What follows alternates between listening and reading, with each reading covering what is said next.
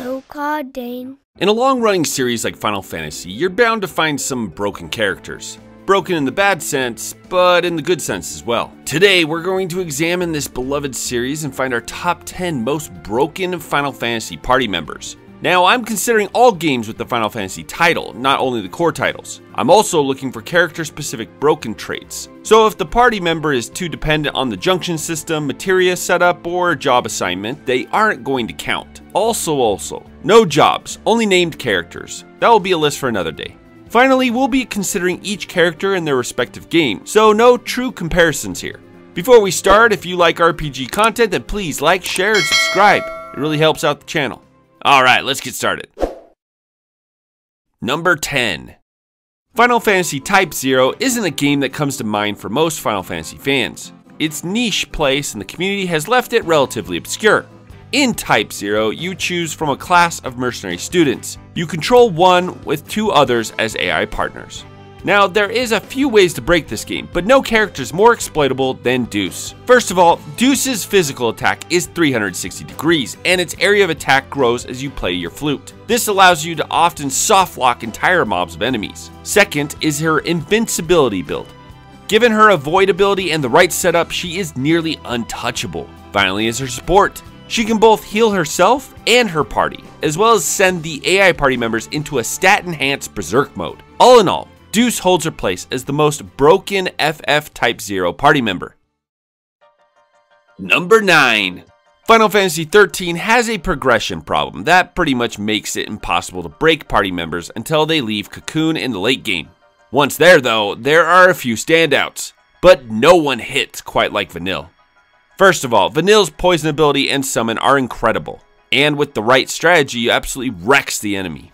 But the main reason she's broken is her death spell. Vanille is the only saboteur who gains the ability to instantly kill enemies, and this has been used to farm Final Fantasy XIII's biggest baddie, the Adamantoise. The strategy begins with her bringing out her summon to incapacitate the Adamantoise, then, using a team of saboteurs, spam debuffs and the death spell until your roughly 8% chance hits. Sure, it's somewhat of a gamble, but one that can work pretty regularly if done right, and can easily level max your party in the latter half.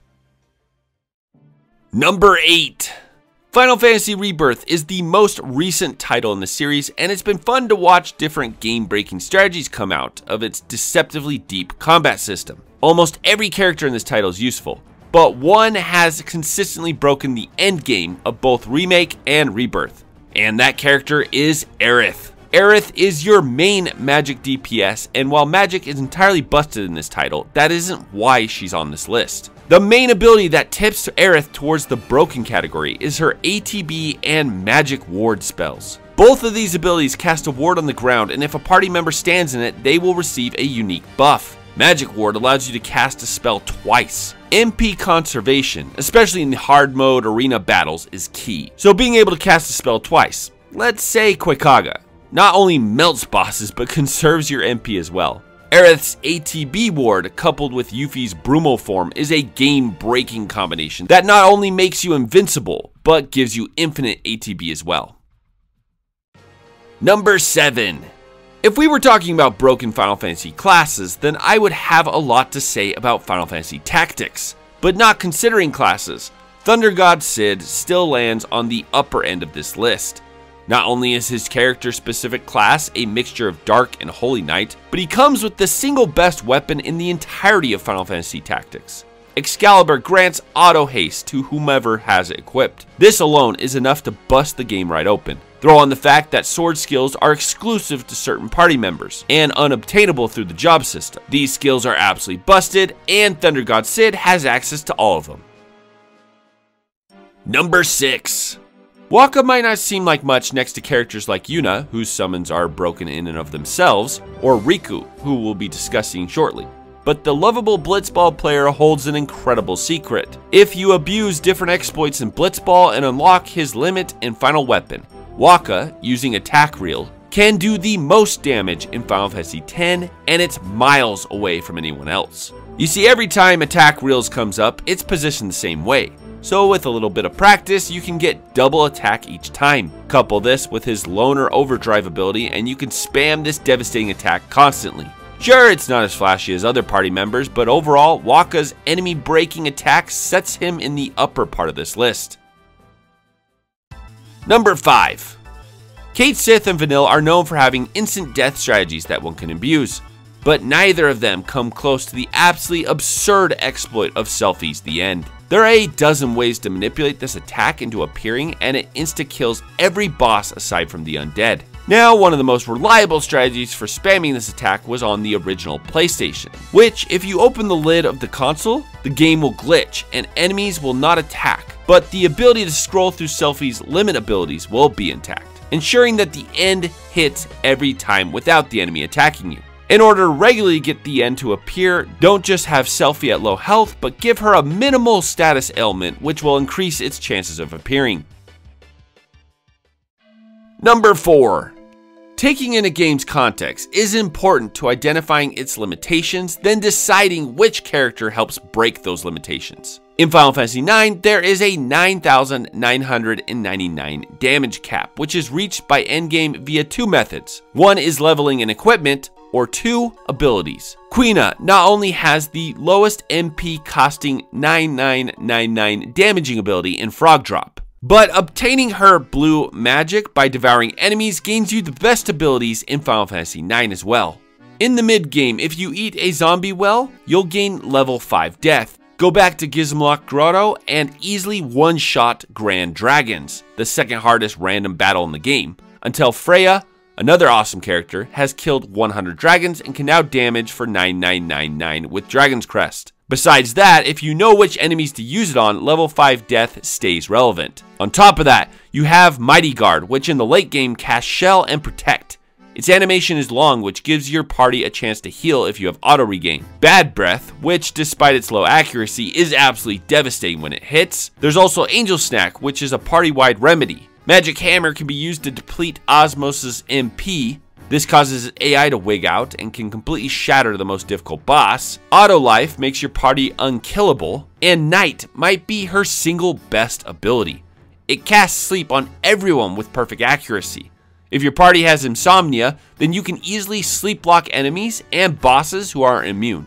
And finally, abusing Limit Glove early on with Auto Life allows Quina to one-shot every early game boss all the way to Disc 2. Don't sleep on Quina. Number 3. In the history of Final Fantasy, one class that has always been immensely exploitable is the Chemist. Rikku from Final Fantasy X has an over limit called Mix, where you can combine different items to produce a whole host of effects. This ability is broken from the moment you get her, and stays that way all the way to the end game if you know what you're doing. She has dozens of awesome mix abilities like Ultra Null All, which makes you invulnerable to elemental damage while granting every single stat boost on your entire party. Chaos Grenade, which hits hard while casting Slow, Poison, Darkness, Silence, Full Break, and Sleep on the enemy. Hyper Mighty G, which casts Shell, Protect, Haste, Regain, and Auto Life on all your party members. Hot Spurs and Eccentric, which boosts everyone's overdrive charge. Couple this with endgame weapons allows you to spam damage-focused overdrives like Wakka's Tac Reels or Tidus's Blitz Ace. Sunburst is probably her best attacking mix, but you'll mainly be focusing on support. In the end, her mix ability is incredible and has been used to abuse this title from beginning to end. Number 2. Final Fantasy XV is a busted game, and not always in a good sense. Of the broken Final Fantasy titles, I'd say that it falls in third place, right behind Final Fantasy II and Final Fantasy VIII. Now, I could talk about the main character Noctis, who is absolutely busted if you abuse Warp Strike, but I'm actually going to talk about Prompto.